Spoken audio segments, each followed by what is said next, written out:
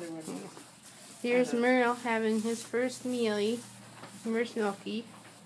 We had to unplug Molly, and that's hard to do because she does not like to be touched at all. But we got her. Yeah. And now Here he is. the milk bar is working. Now she's hiding in the corner because she's like, "You're gonna do weird things to me." I know it. And he's all flipped and dipped and everybody's ready. Yeah. Everybody's done. Here's somebody trying to sneak their way in. They can't. But you're gonna try to jump through there again, aren't you? Yeah. They're not gonna go bother these guys. They're taking a nap. Oh, a. No. There's the baby. Oh, he's doing a little jumpy. Oh. It's like I'm gonna lay down now. This is hard work. Maybe not here. I don't know.